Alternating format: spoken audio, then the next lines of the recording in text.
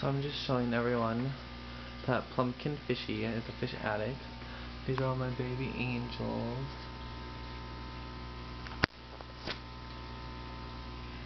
That are growing out in their 30 gallon grow tank. Gonna have to put the smaller ones in the 10 gallon tank, which is the quarantine tank slash uh, breeding tank.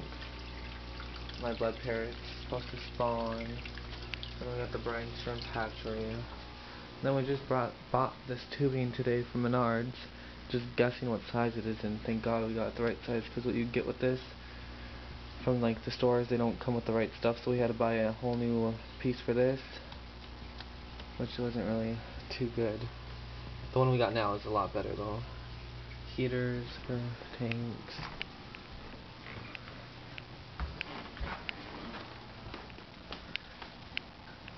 Seventy-five gallon tank being siphoned out, using the water, recycling, obviously not this water, that's from the filters, very dirty. Follow the tube some more, and it brings us to our master bedrooms. 75 gallon tank that I just filled up with half of that water and then half of tap water. And yeah, these are just some of my tanks that I'm starting on for my project and I hope you enjoy watching my videos because I'm going to keep breeding my beautiful angelfish. They're actually about to spawn right now wherever they are. I think they're over here, yeah. Midnight and sunshine. Cute.